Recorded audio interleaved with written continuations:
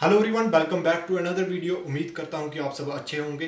आज की वीडियो में मैं आपको बताने वाला हूँ first tourist village of Jammu and Kashmir Panchari hill station के बारे में। चलिए वीडियो की शुरुआत करते हैं। जम्मू कश्मीर के पहले पर्यटक गाँव पंचारी का हुआ शुभ आरंभ उपलब्ध होंगी जल्द ही होम स्टे की सुविधाएँ। जम्मू कश्मीर के उधमपुर में स्थित पंचारी गाँव पहला टूरिस्ट विलेज बन गया है पंचारी हिल स्टेशन और गर्मियों में लोग जहाँ आना अधिक पसंद करते हैं। जम्मू कश्मीर में ऐसे कई छोटे छोटे गाँव हैं, जिन्हें लोग नहीं जानते हैं। हाल ही में जम्मू कश्मीर के उधमपुर में पहला टूरिस्ट विलेज, पंचैरी का शुभारंभ किया गया है। जम्मू कश्मीर के डिविजनल कमिश्नर राघव लंगर ने पंचैरी का शुभारंभ सांकरी देवता मैदान में किया।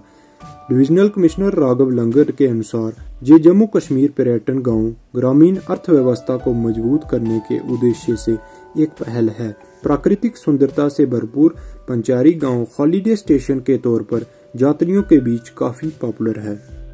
जहाँ आने वाले लोगों को होम स्टे की सुविधा भी उपलब्ध कराई जाएगी। इसके साथ ही टूरिस्टों के ज़रिए जहाँ के स्थानीय लोगों की आय भी बढ़ेगी।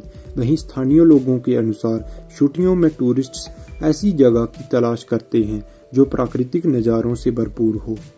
साथ ही उन्हें घर का भी एहसास कराती हो। इन दोनों ही चीज़ों के लिए पंचारी गाँव उपयुक्त है।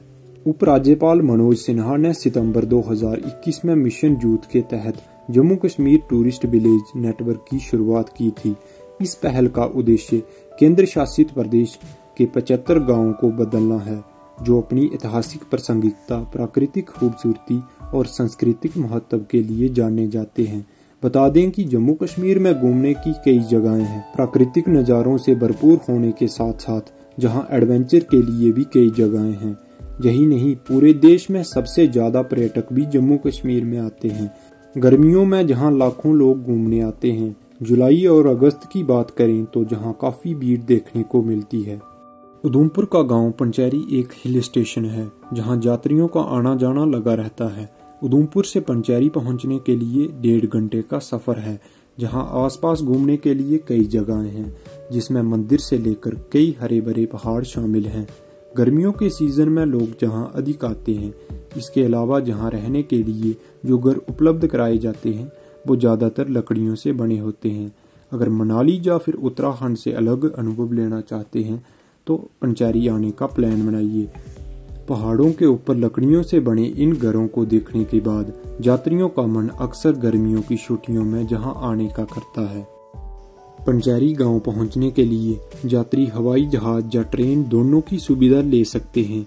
पंचारी गाँव सड़क मार्ग द्वारा जम्मू कश्मीर और भारत के अन्य स्थानों से एन एच द्वारा जुड़ा हुआ है। ट्रेन से आने वाले यात्रियों के लिए दो श्री माता वैष्णो देवी कटरा या फिर उधमपुर रेलवे स्टेशन है। पंचैरी गाँव से श्री माता वैष्णो देवी कटरा रेलवे स्टेशन लगभग 80 किलोमीटर दूर है, जबकि उधमपुर 40 किलोमीटर पंचैरी पहुँचने के लिए स्थानीय गाड़ी या कैब दोनों की सहायता ली जा सकती है। उम्मीद है कि आपको ये जानकारी पसंद आई होगी। सो गाइस वीडियो कैसी लगी? कमेंट में ज़रूर बताना। अगर वीडियो अच्छी लगी होगी तो वीडियो को लाइक कर दें। अगर आप भी पंचैरी में आना चाहते हैं तो हमें इंस्टाग्राम पर कांटेक्ट कर सकते हैं। लिंक डिस्क्रिप्शन में दिया हुआ है। इसी तरह की वीडियोस देखने के लिए हमारे चैनल को सब्सक्राइब कर दें। मिलेंगे नेक्स्ट वीडियो में। Thanks for watching